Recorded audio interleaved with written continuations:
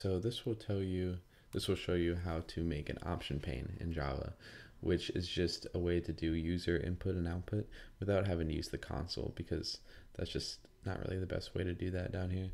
So to start, you need to import this package, uh, javax.swing.j option pane, and make sure you have the cases right here, uh, capital J, capital O, capital P. And we'll start with a string example. So like you'll enter your name very often in a program. Let's just do string name equals j option pane dot show input dialog enter name. Okay. And just to test if that worked, we'll do system dot out dot print name. Run that. Enter name Tim. So that's pretty simple. Um, now to an integer. So I'll comment that out.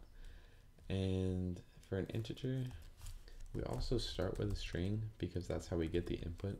Whatever the user inputs is a string at first. So um, for input, let's do j option j option pane dot show input dialog and what's an integer? Maybe like enter grade, grade level. And store that as int grade equals integer dot parse uh, parse int input. Okay. And now let's try to copy and paste this and just print the grade. See if that looks okay. Enter grade, grade five. Okay, so that works.